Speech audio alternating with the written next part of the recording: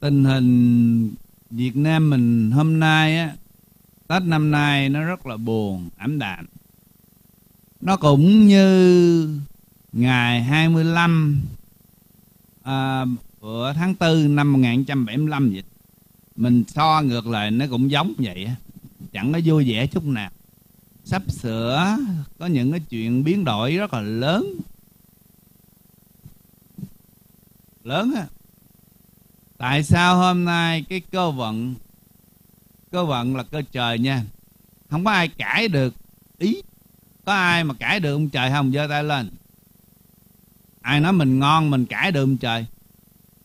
Chỉ có bắt trọng với tập chẳng bình thôi á. À, với Putin có thể cãi là được ông trời. Chứ ngoài ra thế gian này mình thấy không ai dám cãi ông trời hết á. Nhưng mà cơ vận cơ trời đi hàng nghìn năm rồi. Bây giờ cái điện âm điện âm cộng lại nhiều nó thành là gì? Âm trừ đúng không? À, phe thượng thiên mà thua nhiều mà phe nghịch thiên lại thắng nhiều thì nghĩa làm sao? Nó mau đi cái chuyện à, đổ nát. Nước nhiều quá đó, mà thiếu nắng đó, thì nó sẽ bị giống như cái núi mình vậy đó bị đất nó chùi á. Ừ. 25 tháng 4 năm 1975 khoảng đó, Việt Nam khoảng đó. Còn không bao lâu sẽ có rất là nhiều sự ờ, thay đổi.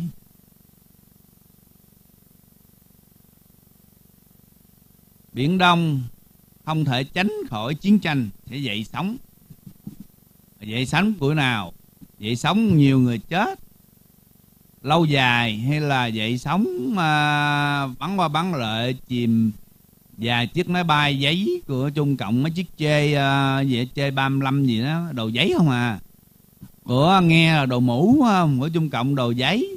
Lính Nga là lính uh, uh, uh, lính gì ta lính kiển. Còn lính Trung Cộng là lính gì ta? Lính uh, lính gác cổng security. Cho nên quýnh cũng không có quýnh lại ai hết trơn á. Ừ hù thôi.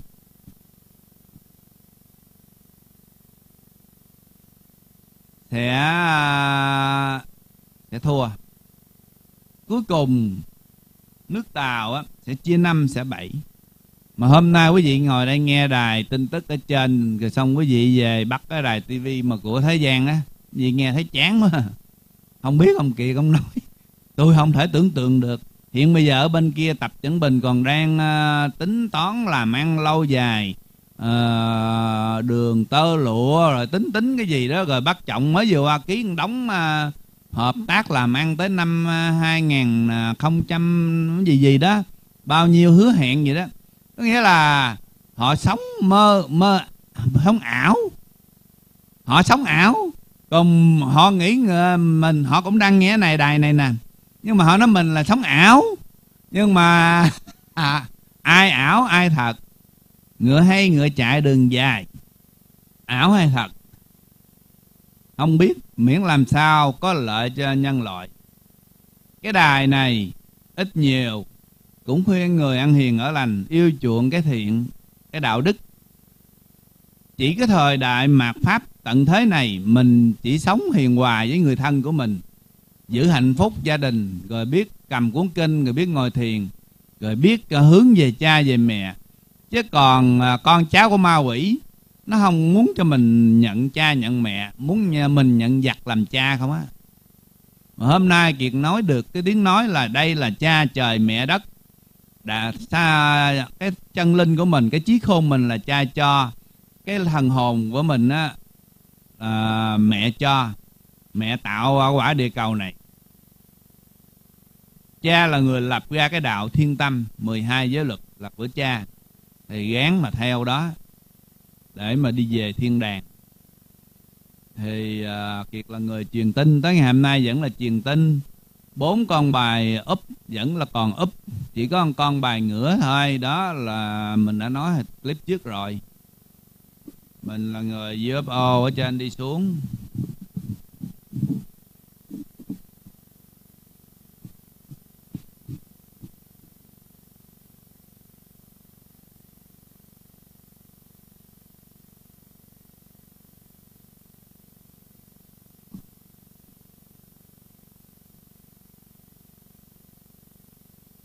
Ở Việt Nam cũng như ở Mỹ những cái thế lực mà nó sẽ đi theo một cái khuôn một nha. Cũng giống như mình thấy giờ Biden đám dân chủ thổ tả những cái người xấu á, Reno á, thất thế. Tại vì khi mà sau này cái đảng cộng hòa lên ông Trump lên á những cái gì mà hôm nay họ làm họ đều tạo nghiệp thì lúc đó là ông mới tạ tác sạch cái đầm lầy của Mỹ. Thì ngược lại Việt Nam cũng vậy hôm nay những người, nó cũng có hai ba phe bên đó, đấu qua đấu lại. Thì nó cũng y chang như cái kiểu của Mỹ này. Để mà từ từ đưa cái nước Việt trở lại ổn định. Chứ nếu mà không có sự thay đổi trong những năm gần đây tăng hoàng minh hay là dạng thịnh phát, rồi à, mấy à, tỷ phú vào rồng lửa rồi á, thì mấy người giàu nó nó à, cộng lại với những ông phó thủ tướng rồi. Bây giờ tới ông tủ chủ tịch nước mà cũng bị lôi đầu xuống nữa. Thì xã hội này xã hội Việt Nam là một trong xã hội chuyện gì cũng có thể xảy ra với lực rừng hết. Quý vị thấy không? Còn mình ở dưới này mình là à, à, tép nhái mà. Làm sao mình sống được với lực rừng? Nếu mà một cái xã hội như vậy nó sẽ không kéo dài được Kiệt lên đây cái tiếng nói 191 cái clip là nói cho những cái thế hệ trẻ từ khi nó lớn lên nó không có cơ hội để phát triển cái tương lai để mà sánh vai với um, những à, đứa bằng tuổi nó như Nam Hàn, Singapore, thậm chí Việt Nam giờ như còn thua Philippines, thua Miên nữa ta. Không có thua mà con người của mình khôn hơn phải không? Thì cái tiếng nói của cái kênh Ngô Tấn Kiệt Official này là để cho thế hệ trẻ của Việt Nam thôi. Chị không nói hôm nay mình không ngồi đây mình nói, không chắc cũng tụi nó cũng không biết nữa rồi nó cứ sống qua ngày lớn lên rồi chết những cái bệnh tật của chợ Kim Biên rồi rượu chè rồi nóng tánh rồi giết nhau rồi hết tiền thì đi uh, đi làm bậy cướp rồi trộm cắp rồi một cái xã hội như vậy không có không có bao giờ một bề trên để cho tồn tại lâu được. Chỉ có khổ một cái là ngay trong lúc này nè là người dân bây giờ không có việc làm. Nghèo quá khổ quá không biết làm sao mà bề trên á, lúc nào cũng sẽ để cho Mỹ vẫn là một à, giống như người anh cả. Cái, cái cái trái đất này giống như một cái gia đình nha có mười mấy người con. Thì nước Mỹ này vẫn là nước anh cả. Thì cuối cùng nước Mỹ vẫn là nước uh, thâu lợi phẩm hết. Thì trong kinh sấm có nói mà. Sau này nga sẽ không còn cường quốc nữa trung cộng không còn nữa. Chỉ có mỹ vẫn tiếp tục lãnh đạo á bởi vì mới có câu à, mỹ thâu lợi phẩm trời ban phong thần. Kỳ kỳ kỳ nhì tái diễn phong dân. Đó là trong sấm cơ có nói cái đó mỹ thâu lợi phẩm trời ban phong thần. Kỳ nhì tức là kỳ này là phong thần một và phong thần hai đúng không? Kỳ nhì tái diễn tái diễn phong dân. Có nghĩa là giống như thời ngày xưa trụ dương đắc kỷ vậy đó. Sấm cơ có nói cái đó mỹ thâu lợi phẩm. Thì bây giờ sau này mỹ vẫn là nước mà để mà lo cho thế giới trong tương lai. Ở trên, cha mẹ cũng giống như mình, có chồng, có vợ, có làm chủ nhà, cha mẹ, thì cũng phải để một đứa con lớn để mà nó dạy dỗ mấy đứa em vậy đó. Để trên cũng tính y như kiểu mình thôi. Phải có một nước nó có cái à, một cái lời lối, một cái à, công thức, rồi à, có tiền để mà lo cho cho tất cả những cái nước nghèo, nước nhỏ khác. Chứ bây giờ quý vị nghĩ nếu mà trung cộng xém một chút xíu hồi xưa mấy vị nói á, là nhuộm đỏ cái quả địa cầu này á, là nhuộm máu nguyên cái trái đất này á, thì nghĩ cái trái đất này á, trung cộng đối xử có công bằng với những người khác không? Người người ở bển họ đối xử nhau còn tàn khốc nữa. Huống hồ chi đi đi lo cho nước việt. Không có đâu. Mỹ giàu sao á nó cũng có cái luật lệ của nó. Bởi vì lãnh đạo Việt Nam á, nên chọn Mỹ hơn chọn Trung Cộng. Nhưng mà buồn có một cái là mấy đại ca bển không có nghe không có nghe đài này nghe nào có lợi thì nghe còn nghe không có lợi thì mà ông cười. Cho nên vẫn ờ, đi ôm cái cục gỗ mục. Gỗ mục là ôm trong cộng á. À, ôm đi rồi mai mốt rồi đừng nói sao à, thượng đế không có công bằng à, không ai nhắc nhở tôi thằng con rồi xuống đây nói ba năm trời khô cổ họng. Từng nào ông lên nói cả đóng bà con lên trên đó nhớ mình. Kêu sao ba tuần nay anh đau? Ôi trời tôi có muôn trùng công chuyện cái chớp này cái chớp à, uh, khi nào uh, rảnh uh, cái này nọ không còn uh, tin tức. Ngày xưa ngày trạng trình ông nói có một câu thôi à ông đâu có nói uh, năm liên tục mà từng nào cũng nói kiểu này. Còn này mình tiên tri đâu phải như bà Venga bà nói con chút xíu à tới giờ là mấy nghìn năm luôn đó không rồi Notre Dame cũng vậy còn này mình cũng tiên tri mà siêu hơn nữa. Mà kêu mình nói mỗi từng là chết để cho cơ vận xây chuyển rồi đấy phải không? Còn này vừa nói vừa phân tích nữa. Thôi giống như à, à, cây lúa rồi xong mới đi gặt lúa rồi đi xây lúa rồi đi nấu cơm. Nấu cơm mình mắm mắm mà đúc ăn luôn. À, với là phật chúng sanh thời nay kiểu như vậy đó.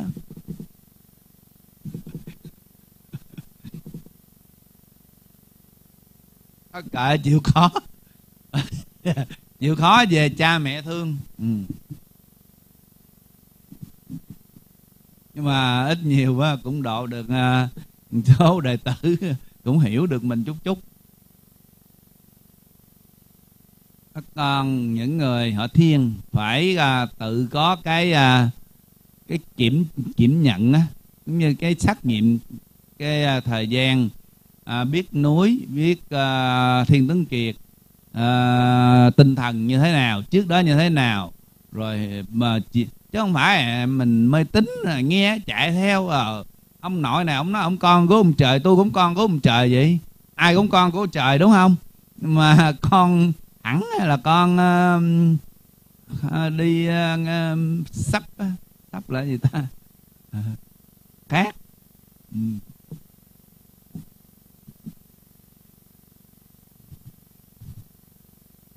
Ok rồi nãy có cái uh, cái bác đó muốn hỏi gì bác lấy cái microphone thả dài dài dưới kìa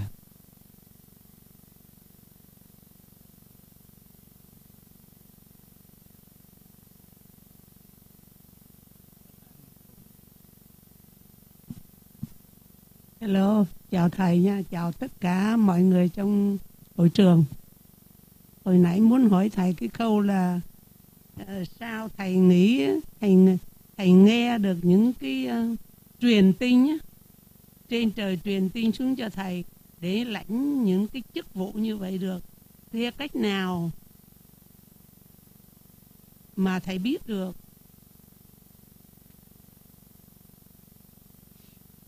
Giờ à, con hỏi bác nè. Bác vô tiệm phở à, phở à, phở gì ta? Ở hà nội dưới này đi hỏi à, hỏi ông à, nấu phở. Hay cái công thức à, mày nấu phở đâu ngon quá mà tiệm mày đắt quá à.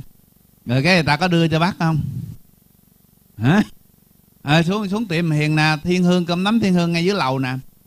Hỏi nó hey, mày mày chiên thịt kiểu nào mày đưa tao để tao mở cái tiệm ngang cửa để cạnh tranh với mày anh kiều.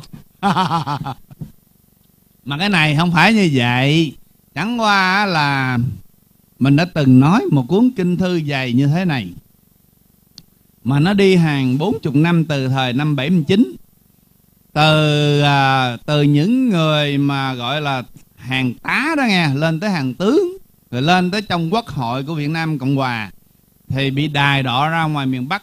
Những cái trại tù Nam Hà tỉnh Hà Nam Ninh Bắc Việt Nam rồi đi dài ra tới ngoài đó thì tất cả những vị đó đó, hàng nghìn người đã bỏ xương, bỏ xác ở ngoài ở ngoài Bắc. Tại sao 75 mà? Thì cũng là đáng đóng một màn kịch khổ. Thì thời đó vừa vô tù thôi, là bề trên á, đã cho ra cái bài kính thiên số 1 thì lúc đó, thiên tấn chuyện này có 13 tuổi 12 tuổi là đang nằm trên biển. Bị à, hải tặc Thái Lan nó muốn chết. Thì mẹ thấy con mình đang ngoài biển, bị nạn thì lúc đó, đó thì kiệt khấn mà tàu sắp chìm mà kiệt khấn thì thấy phật Bà âm hiện lên thì tự nhiên sáng lại không có bão nữa. Rồi được một chiếc tàu khác nó nó kéo đi. Thì lúc đó bài kính thiên số 1 ra thì ai đọc bài kính thiên đi? Cơ vận mà đóng kịch mỗi người đóng một khúc. Như nguyên một phim nó có khoảng ba bốn ngàn người đóng trong một bộ phim của thời mạt pháp cho nước việt thì mấy cái bác hát đó đó là những người siêu trí thức. Dễ gì mấy ổng mà lúc còn trước 75 vô mấy ổng tin. Mà tại sao hôm nay mấy ổng lại bò bò ra núi mấy ổng tin? Là thời đó là mấy vị đã xuất hiện trong trại tù rồi. Để mà chắc đức đã xuất hiện rồi. Và những hồn thiên sông núi của nước việt thời đó cũng đã dìu dắt họ và nói cho họ biết là để chấn an tinh thần của họ để cho họ có cái lòng tin là sẽ có một ngày được mỹ dứt uh, mỹ nó cứu. Thần tự do sẽ lo tất cả.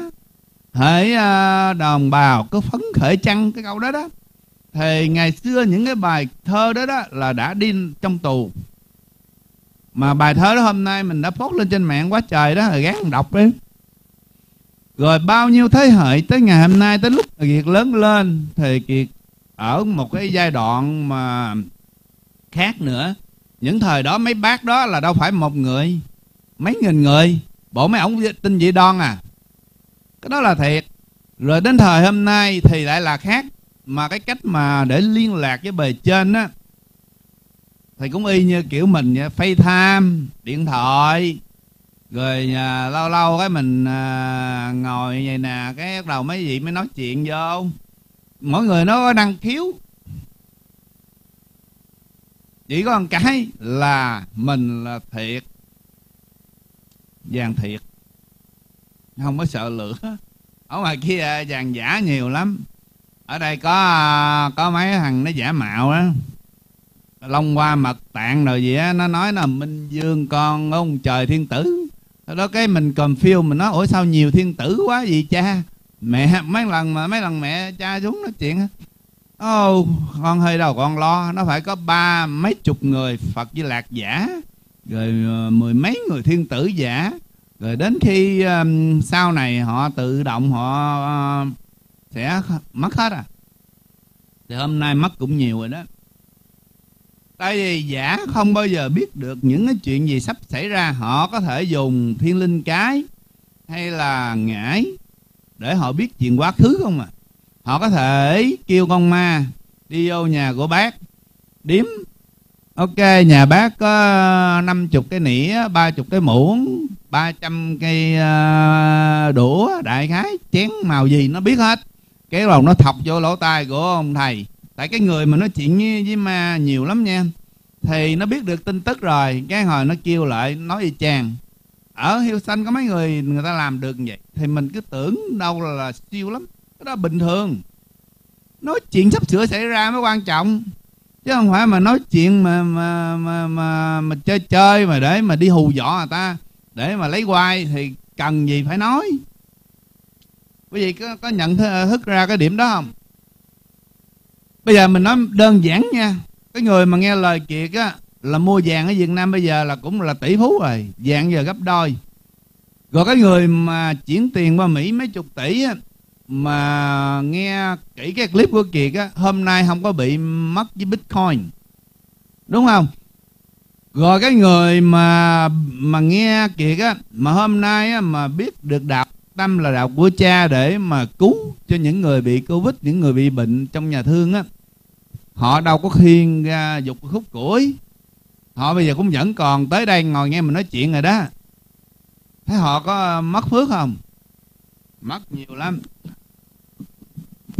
Ví, thí dụ như nước việt, ba bốn năm trước, thì kêu á gán chơi với mình để mà lấy mấy cái hãng hai thác vô. Nếu mà cả nước việt mà nghe lời mà chơi với mỹ hôm nay, nước việt mình giàu rồi, dân đâu giờ đâu có khổ nữa.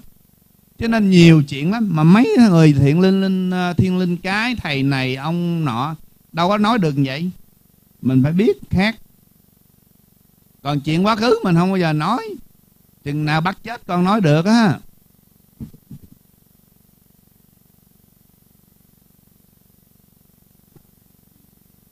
Hả? Ơn trên cho thầy biết những cái tin tức đó. Thiêu cái gì? Buồn. Mỗi lần có một lần á, ngay ngày mà giống như à, ngày mùng à, 3 Tết. Của năm 2019 lúc Dạ. đó ở Mỹ này chưa cấm vận Covid.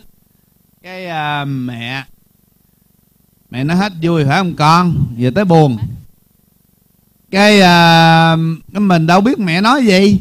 Có nghĩa là bắt đầu lệnh Covid rồi một đống giấy tờ của County nó tới đóng cửa núi mình. Cho tới ngày hôm nay là năm 2022 là 4 năm sau vẫn chưa mở được cửa Thiên Long Sơn. Rồi bệnh Covid rồi 7 8 triệu người trên thế giới bị chết. Rồi à, mà à, bảy à, nhiêu ta? 700 triệu hay 70 triệu người bị nhiễm. Thì mẹ nó buồn. Thì khi mình nghe thì mình buồn. Cũng giống như ngày xưa, trước khi mà đặt cái bàn khấn là về trên với mấy chư Phật á, cho cái trái đất đừng có bị bom nguyên tử á. Mình nghe mấy vị nói là 10 chết 7 còn 3 mình khóc. Rồi mình mới lập cái đàn khấn. Hồi lúc đó đó đang làm chủ bận. Rồi cũng không có nhiều người phụ giúp nữa. Nhìn lại cái clip cũ đi. Chỉ có hai vợ chồng thôi à. Rồi lúc đó mấy đứa nhỏ nhỏ xíu à cái chạy theo ba mẹ phụ được gì phụ. Cứ cà quẹt cà quẹt vậy đó. Vậy mà lập được cái đàn khấn bữa đó. Rồi à, mà với à, tổ à, tổ chức cái lễ lễ du lan cái gì đó. Thì mình mới tránh được cái bom liên tử. Nhưng mà khi mình nghe được những cái tin tức mà vui thật sự không có tin tức vui gần ba, bốn năm nay toàn là tin tức buồn không à cũng giống như, ơi, con nói sắp sửa chiến tranh nghe, con kêu người Việt Nam phải chuẩn bị ờ, cơm gạo, tiền, xăng đồ nữa. Tự nhiên cái mấy em gài vụ xăng nước Việt Nam làm gì có chuyện mà đứng sắp hàng đổ xăng, đúng không? Thì mình cũng có nói trước. Rồi bây giờ sắp sửa đói mình cũng nói trước. Nhưng mà đa số là nghe chuyện buồn không à nhưng mấy vị báo cho mình biết để mình báo lại, để giảm sự chết chóc cha mẹ có thể ú cái linh hồn của mình đi về nếu mình giờ chót quay đầu. Nhưng mà ở cái thế gian này của mình á là cũng giống như mình một người con xuống đây học hỏi thì mình phải tự dùng cái trí tuệ của mình cái sức của mình để mà tránh bệnh tật. Mới ngày hôm qua mẹ về thường thường thứ sáu thì uh, hết làm việc thì kiệt ngồi kiệt hay vấn an mẹ với mấy chư vị anh em rồi xuống thăm thì mấy vị nói con á bữa giờ nhiều chuyện rồi à, con lo giữ gìn sức khỏe tại vì lo cái núi à, đất nó đổ. Rồi bị à, cái tuy là có bảy dòng hào quang nhưng mà hít bụi nhiều quá vẫn bị nhiễm trùng cổ nha bà con. Cho nên ba tuần nay không có lên mạng được cái bà con đó ở ông này không đâu hả? Ủa tôi bị nhiễm trùng cừng cổ tôi uống trụ sinh bữa nay tôi mới ngồi chót chót được nè.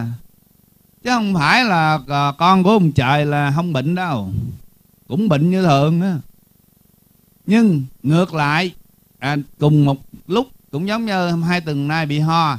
Nhưng mà những đứa nhỏ mà bị sổ mũi hay là tà rồi đó thì cái điển này để lên đầu nó nó giờ thì cũng vẫn trị bệnh được đó. Phần mình bệnh là chuyện của mình mình trị bệnh được là chuyện khác nữa.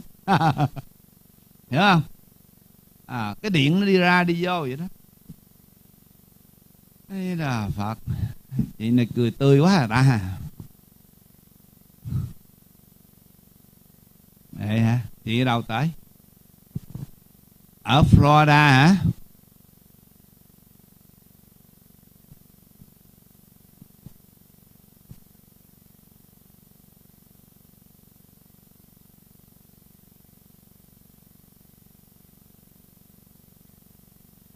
Ở Florida mà chị tốn vé máy bay qua Cái vé máy bay bữa nay nó có on sale không chị? năm trăm mấy qua đây kiếm em hả? dạ hồi lần trước có qua hồi hồi lễ à, gà lôi á. Có qua mà không được gặp Mà qua từ Florida qua đây kiếm em hay kiếm Phật? cha lên lễ À, mẹ cha right Dạ. here. Kiếm lượt giờ gặp hết rồi nè. Dạ. cha mẹ kiệt đằng luôn. này đằng này tụi này em lên trên núi nhưng mà đóng cửa không có mở. Cái nhìn thấy cái bảng cái lễ chuyến đây mà bị gì à, 30 tay mình về á anh mở tới ba tay á, 12 á thành ra không có gặp được luôn đi chuyến này trở qua đi tìm. Cha mẹ để mà được lên núi thì, thì thật sự à, lâu lâu đi rảnh thì đi cũng được còn cha mẹ lúc nào cũng ở trong tâm của mình mà ở nhà thì mình khấn là có mẹ xuất hiện rồi Dạ. Nhưng mà gặp trước thì gặp cha mẹ sao được gặp anh Kiệt ở ngoài vậy á. ở ngoài đẹp trai hơn quá. ồ đẹp trai không Thấy ngoài đẹp trai hơn nữa.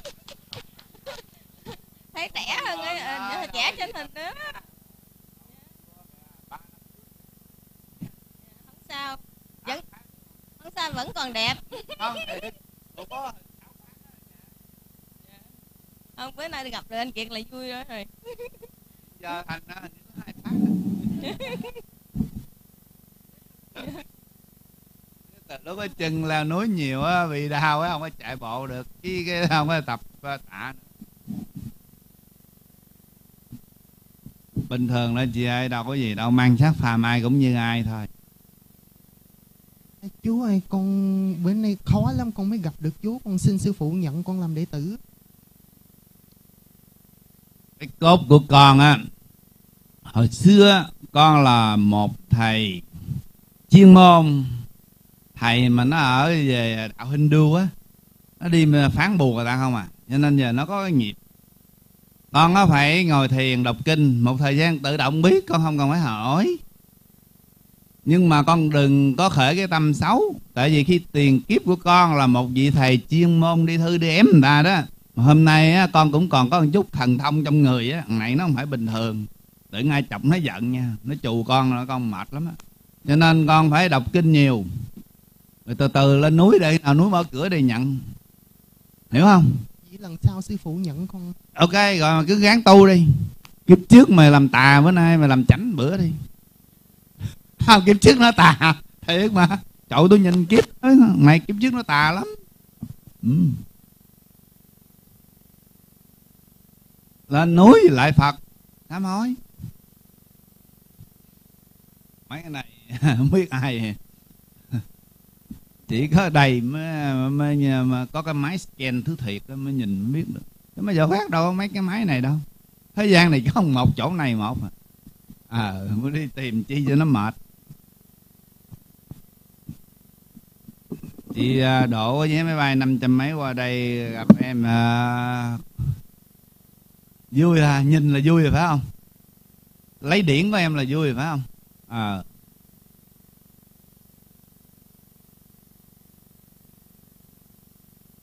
mấy con giải mấy cái microphone nó về dạy mình có nhiều